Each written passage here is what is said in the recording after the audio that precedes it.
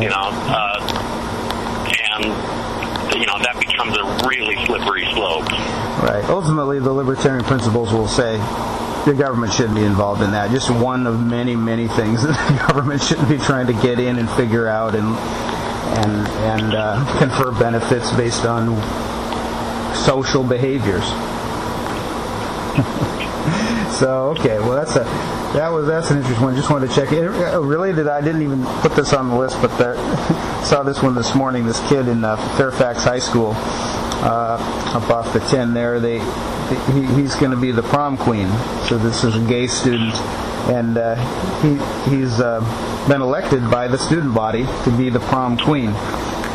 And and uh, again, no no really no freedoms are really abridged. There is some protest, I think, by some of the students that it's a that they're uh, the whole thing was a stunt. It was you know it really a oh, it kind of dishonors the prom tradition or whatever, but actually the students preferred it by majority. So, yeah, the students are the ones for whom the uh, tradition is, is kept going. The students should be allowed to elect whoever they want. If they want to elect somebody, if they want to elect the goat who's the mascot prom queen, they should be allowed to. yeah, well, that's that's the way the the. Uh, the, the prom or the, the schools you know guidelines of you know how they run these uh, these events for the kids as long as it's not uh, you know something uh, that's uh, that's just obviously against the school principles now I, am thinking differently because there's I, can, I went to Catholic grade school or high school and they they they have a lot more power in a private institution like that to to invalidate, you know, things like elections that, are some someone pulls a stunt like that. But in in a public high school, there's really there is kind of an obligation to uphold uh, somewhat of a you know democratic model of of uh, how how you elect your student presidents and king and queen of the prom and things like that. And so if it's a you know tolerant school like that and they, and they voted it and yeah, I think they, they should uphold it. It's not, I know a lot of, I've heard a couple of comments on the conservative uh, talks about things like this happening in high schools where it's a, they believe that the that the school is pushing and propagandizing leftist type issues and and and uh, defining deviancy down is a famous phrase. Uh, I don't see that in this case. And, I don't think it's there's deviance here. I mean, he's a standard gay student. He's saying, "I'm going to wear a, a suit to the prom." I don't know if he's going to so dance. Really with... is a prom queen. yeah, yeah he's not, not going to wear a dress. Don't know if he's going to dance with the prom king, but I I don't know. They can always find a way. Of, depends on uh, you know he's they have some freedoms in what they do. You know, at the prom, I guess. I, I I'm thinking that this is a, a fairly puritanical uh, uh, country still in many parts of it. So when they see items like that happening out in California, they a lot of people are very repulsed, and they think that the the, the gay agenda is to take over and and and uh, say that you know being gay is is is equal to being straight and in, uh, and try to force gay lifestyle and teach all teach it to your kids and that's another slippery slope. Huh? Forcing gay lifestyle. I, I feel bad for gay people just for being born gay. I mean, it's you, you uh, you're all of a sudden ostracized by everybody, and all of a sudden your uh, down from 50% of the population down to 5%. Hmm.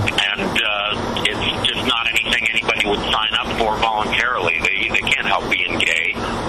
Yeah. So let them be gay for God's sake. Yeah, yeah. Let's not uh, make it such a big deal. deliberately want to do that to themselves. Yeah. Well. In... On the other hand, I don't understand exactly how how gayness is perpetuated in the genetic strain when uh, it's the first thing that would genetically be uh, ruled out. yeah. For some reason, it's a uh, and I, I, don't, for lack of a better word, it's a mutation, but it's not a. Maybe there's a better word. It's just a, it's a difference and you call, in the general in genetic talk, I think mutation can mean any change. It's basically any uh, characteristic that's different, and and some of those characteristics get selected for reproduction, and some don't. Obviously, gay people are highly less likely to reproduce, but it's uh, it perpetuates for whatever reason they don't know why from the things I've read. Um, and and uh, I, I think it's be- we I like the tolerance. When I was growing up, we were highly intolerant in high school of gay people, and so they basically the ones that were suspected of being gay were just basically stayed in the closet and did not, you know, uh, show it in any way. You know, because the guys are. Yeah, I think the reason is is that guys, as they they're maturing, they becoming, you know, from going from boys to men, they still have standard fears that smaller kids have, and so there, there's this stigma of appearing to be weak in any way. And when they see kids that have effeminate characteristics, they they uh, want to show that they're against that because they're trying to become, you know, a, a macho man, and, that, and that's part of the reason they there's this kind of revulsion that is felt. But that that can be discouraged in the kids by the administration and, and by the kids' parents themselves. I think in general we're becoming a lot more tolerant of uh, gay people. I think it's a good thing. You know, I, I remember making all the jokes just like with the rest of the guys, and and I, I, re- Yeah, me too. I kind of regret that that uh, you know some of the the kids that were gay or, or probably were were gay were you know very much uh, teased and and intimidated. They don't, they don't deserve that. So uh, I'm glad. Maybe this is a good thing. It's one of those uh, you know pluses for tolerance, and hopefully we can come to kind of a way to work live together where we don't have to have this intimidation and just and uh, you don't have to buy into the whole lifestyle. And you don't have to be forced to, you know, read all the details about uh, what what gay people do. But there's got to be a, a way to, to, to live together, and I think this is a step forward. At least, from the libertarian standpoint, it looks like a good, a positive step. It's none of my business what you do in your bedroom or with whom. Right, and it's especially not the government's business. God, no. Okay, well, I've dragged you on a little bit long today, uh, Greg, but I think we got some uh, good points out, and uh, I'm glad we slammed on that uh, that drug uh, White House um, drug office uh, sham and try to get the word out on that. I'll promote that today, looking out, on the blogs and try to try to uh, refute that any of the blogs that are talking positive about that report. Yeah, absolutely. I think they're reporting on Prozac for God's sake. yeah. okay, Greg. Thanks again. Great job.